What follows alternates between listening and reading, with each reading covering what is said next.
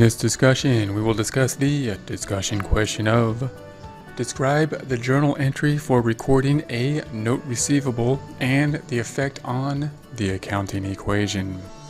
So, a note receivable, we might first approach this type of essay question, this type of discussion question, by first noting what a note receivable is. We could do that by comparing it to an accounts receivable. So, it is still a receivable, it's going to be an asset, it could be a current asset or a long-term asset depending on the time frame of note receivable. We might first think that the difference between a note receivable and an accounts receivable is the fact that one is going to be long-term versus short-term, but that's not necessarily the case. The, the notes receivable we will be using most of the time here are going to be receivable notes that have a, a time frame of the due date of the note being longer than a typical account receivable but not typically being over a year, which is the determining factor that would typically put the note receivable into a non current asset category. So, first, what's an accounts receivable? That's going to be the default standard. That's going to be something that is owed to us due to a prior uh, transaction, typically due to a sale of goods or services. So, the journal entry there would be a debit to accounts receivable and a credit to some type of revenue uh, would, would be income or revenue, or it could be called sales if we sell goods, or fees earned if we have a service. And then if we sell inventory, we may debit cost of goods sold and credit inventory at the same time if it's a perpetual inventory system. So that's going to be the, the normal accounts receivable we will have. Now, a note receivable, we may have the same type of transaction, same journal entry, replacing accounts receivable with notes receivable, in certain circumstances, meaning the journal entry could be a debit rather than to accounts receivable to notes receivable, and then a credit to sales or revenue or income or fees earned, whatever we call the revenue account. And if we sell goods or services, a debit to cost of goods sold and a credit to inventory. Why might we do this for notes receivable?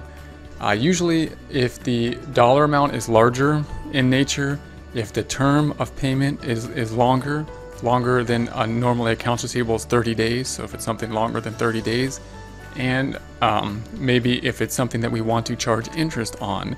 These things, of course, are related. If it's a larger dollar amount, we may want to charge interest on it. If it's a larger dollar amount, it may be that it takes longer time period to get paid on it. The terms might be longer for us to be getting payment on. And if the dollar amount is larger and we um, have terms that are longer, we we probably are going to want to charge interest on it because we are in essence making a loan.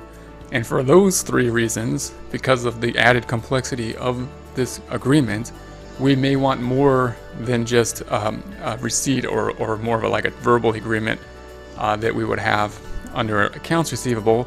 We might have want to have written formal documentation, a document basically showing that a promise to pay uh, is given a promise to pay in a formal documentation listing the amount of principal, the interest rate, and the term, the time period of the note receivable that we will have. So that's going to be the normal type of transaction and, and an idea of what the notes receivable is. And also, the note receivable might go on the books instead of making a sale and replacing the note receivable or replacing the accounts receivable with a note receivable, we, we might have a circumstance where we basically convert a receivable, an accounts receivable, to a notes receivable. So if, for example, an accounts receivable was not being paid, it went past the terms, the 30-day term period, and we are extending the term, we may then say, okay, we want to make a formal extension, and then we'll give you a longer period of time to pay However, we would like to collect interest on it and have a, a formal written promise of that payment. That could be a circumstance where we would we would have a, a, conversion, and the journal entry would be straightforward. We would debit notes receivable, converting it to the asset, the asset going up for notes receivable, and credit reduce accounts receivable. In other words, we would just take it out of accounts receivable, it being an asset type of account with a credit, and put it into a note receivable, it being an asset type account with a debit. Now, uh, again, it doesn't mean that we're taking it from a current asset to a long-term asset. The effect on the accounting equation would be null in a, because even the effect on the current assets, meaning the the asset went up and the asset went down in that case. So the account the assets would remain the same in net, no effect on liabilities, no effect on the equity.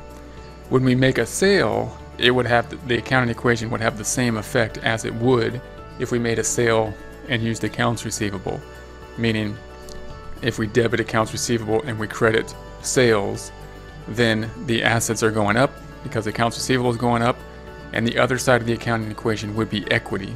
Equity would be going up because um, sales are going up. That brings net income up. Net income brings equity up.